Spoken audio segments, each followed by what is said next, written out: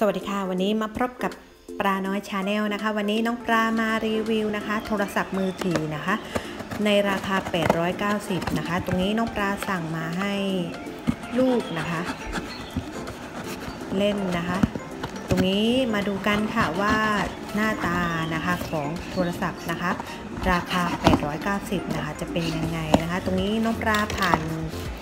สั่งผ่านช้อปปิ้งนะคะ อันนี้ก็ของมาถึงแล้วนะคะ ตรงนี้ก็แกะกำลังแกะดูอยู่นะคะ อันนี้ของนะคะ มาแล้วค่ะ อันนี้เราก็มาดูกันนะคะว่าโทรศัพท์มือถือนะคะ ราคา 890 นะคะ จะเหมาะสมกับราคาหรือว่าคุ้มไหมนะคะ ในการซื้อราคา 890 นะคะ เป็นมือถือที่เราสั่งมาทางช้อปปิ้งนะคะ นี้เราก็เปิดออกมาเลยค่ะ เปิดออกมา ตรงนี้ก็จะห่อกันกระแทกมาอย่างดีนะคะ ทาง ร้านห่อกันกันกระแทกมาอย่างดีค่ะ อันนี้สภาพก็พูดถึงก็ความสวยรูปลักษณ์ภายนอกก็พูดถึงก็สวยอยู่นะคะ โอเคอยู่นะครับในส่วนภายนอกนะคะ อันนี้เรายังไม่ทราบว่าภายในนะคะจะเป็นยังไงอันนี้เดี๋ยวเรามาประกอบกันก่อนนะคะเขาจะแยกแบตเตอรี่มาให้ต่างหากนะคะอันนี้เป็นแบตเตอรี่ค่ะเราก็ต้องมาประกอบเองนะคะ ในการประกอบนะคะ แล้วก็จะมีแถมกันรอยมาให้ด้วยนะคะ อันนี้ก็จะเป็นกันรอยนะคะที่แถมมาแล้วก็มีเคสนะคะ แถมกันรอย แล้วก็แถมเคสโทรศัพท์มือถือมาให้หนึ่งอันนะคะ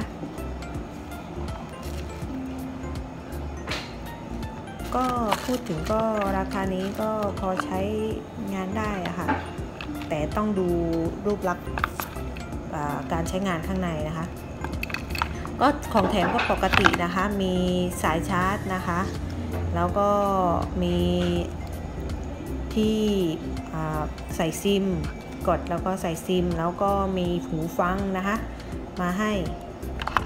อันนี้แล้วก็ เครื่องนะคะ อันนี้ก็ส่งมาให้ครบนะคะ ตามที่แจ้งไว้นะคะทางร้านนะคะ แจ้งไว้ทางร้านก็ส่งมาครบตามที่กำหนดนะคะไว้ในรายละเอียดนะคะข้อมูลนะคะแต่ต้องดู ความไวกันนะคะ เดี๋ยวเรามาเปิดเครื่องแล้วก็ลองดูการใช้งานข้างในกันนะคะ ว่ามันจะโอเคไหมนะคะ อันนี้นะคะนนี้นะคะตัวเครื่อง ถ้าเพื่อนๆกำลังหาโทรศัพท์อยู่นะคะ ก็ลองลองดูนะคะ ตรงนี้น้องปลาก็รีวิวให้ดูในระยะระดับหนึ่งนะคะ ตรงนี้พูดถึงภายนอกก็โอเคนะคะ เรื่องโทรเข้าโทรออกก็ต้องโทรได้อยู่แล้วนะคะ โทรเข้าโทรออก แต่นี้เดี๋ยว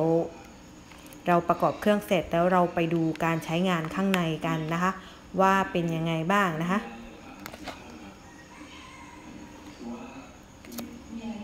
อันนี้เดี๋ยวเรา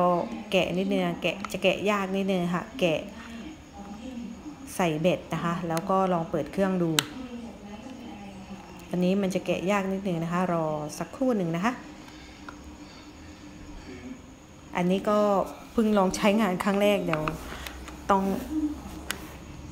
ค่อยๆแกะนะคะ เดี๋ยวพังก่อนได้ใช้อีกนะคะ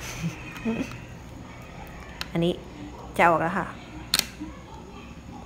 อันนี้ออกมาแล้วค่ะ อันนี้เนี่ยค่ะแกะเข้ามาก็จะเป็นแบบนี้นะคะ แล้วก็ใส่เบ็ดนะคะ อันนี้เราก็แกะ ตรงหัวนี้ก่อนนะคะ แล้วก็ใส่เบ็ดเข้าไป ใส่เบ็ดเข้าไปเลยค่ะ อันนี้เราไม่ต้องใส่ซิมก่อนเดี๋ยวลองเครื่องดูก่อนนะคะ ใส่เบ็ดเข้าไปนะคะ แล้วก็ปิด ตรงนี้ทางร้านบอกว่า เป็นเครื่องของโฮเว่ยนะคะ แต่มามันมันก็ ไม่ไม่ตรงสเปคนะคะ ไม่ไม่ตรงที่แจ้งไว้นิดนึงนะคะ ว่ายี่ห้อหูเว่ยแต่มาก็เป็นยี่ห้ออะไรก็ไม่รู้อะค่ะ อันนี้ก็แกะออกนะคะเขามีการรอยมาให้พร้อมกับเครื่อง แล้วก็มีการรอยแยกมาให้อีกต่างหากหนึ่งอันนะคะ เดี๋ยวเราจะลองเปิดเครื่องดูนะคะ อันนี้เสร็จแล้ว เดี๋ยวเราจะเปิดเครื่องดูกัน แล้วก็ใส่เคสก่อนนะคะ ลองใส่เคสดูนะคะ ที่เขาให้มาก็เคสด้วย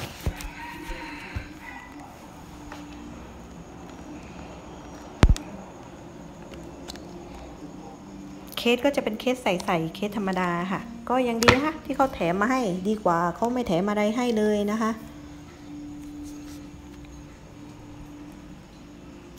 ค่ะ นี้ก็ลองเปิดเครื่องดูค่ะ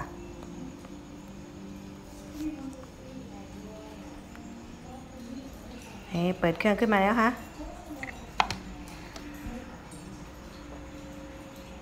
Welcome ม มาดูกันเลยค่ะว่าจะเป็นยังไงนะคะ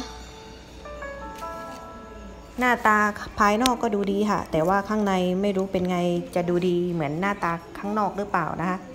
การใช้งานนะคะ มาดูไปพร้อมกันเลยค่ะ นี่มาแล้วค่ะ